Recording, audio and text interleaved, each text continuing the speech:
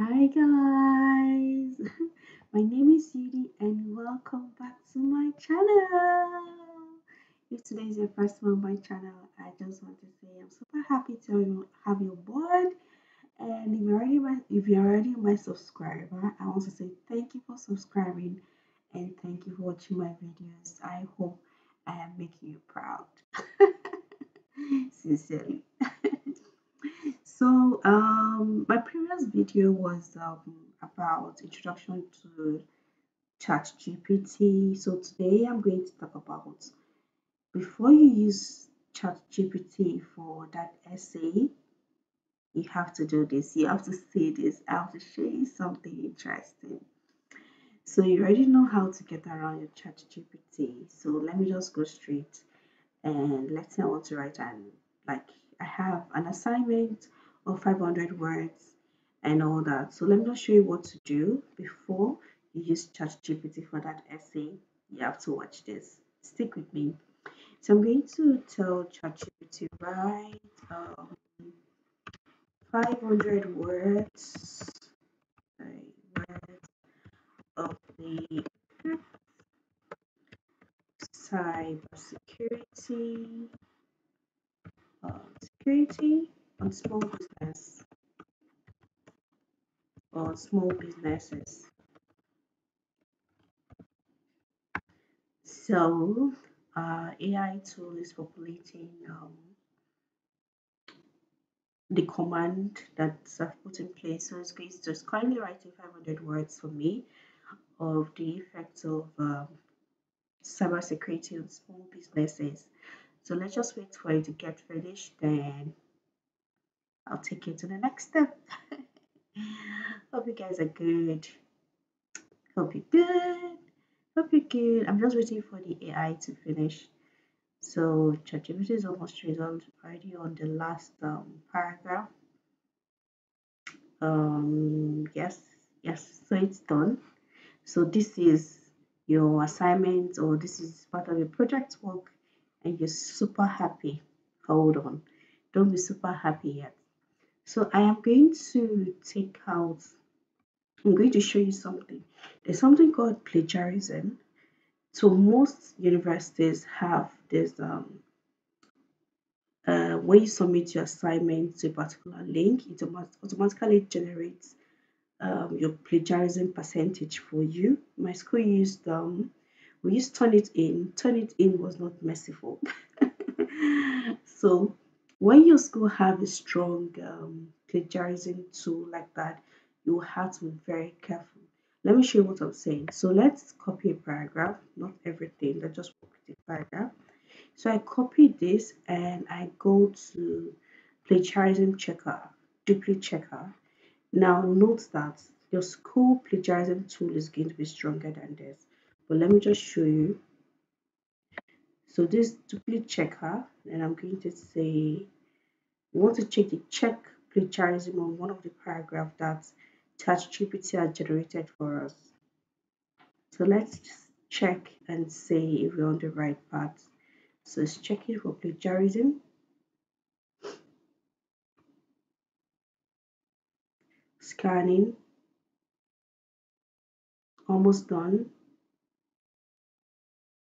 So can, as you can see, that particular paragraph has has no plagiarism. It's actually one percent, uh, hundred percent unique rather. So you are super happy. Please don't be happy yet. You have to check all your um all the result all the result you get from ChatGPT. This is an AI tool. You have to use AI uh, plagiarism detector. So let's go to AI plagiarism detector. Here I use duplicate checker so here we're going to use um, output detector. So this is an AI plagiarism detector. I'm going to put this link in, in the description box so that I can also be checking also. So I'm going to put this. You put it is already checking. So this is 51% fake. This is still on the high side. Most of the time, most of the time is always 90%, 95%. But all the ones have been um, I've gotten, I've, they've been on 90, 90 plus. So this is actually good. I'm just doing this for the first time. so this is actually good. But your school will not accept this. This is actually on the high side to submit for your school, especially if your school has a plagiarism detector tool attached to the um, to your submission um, link and all that. So what you're going to do to overcome this is you're going to use um, we're going to paraphrase. Have you heard of QuillBots? QuillBots. so you're going to paraphrase. Is it's either you paraphrase on your own or you use um or you or you use um a tool, a software to paraphrase. Some people use Grammarly, but I'll prefer for you to use QuillBot. So this is what I use. QuillBot gives you, you know different options.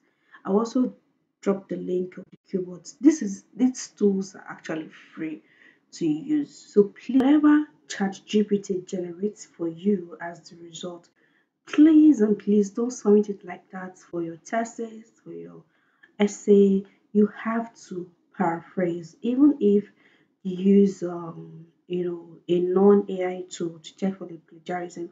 Always use an AI plagiarism tool to check for plagiarism. So I'm going to attach what um, we generated. So I'm going to put this for QuillBot to paraphrase first.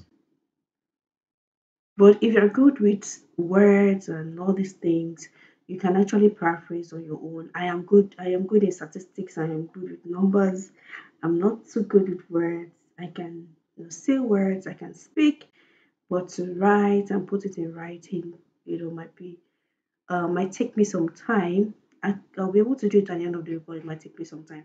So if you're just like me, please use QuillBot or you can use Grammarly if you you know whichever one but i prefer this now if QuillBot generates for you you can actually go further to, to actually change something so when you click on the um, on the words it gives you um another like it, it gives you other options where you can change like this you know you can change it.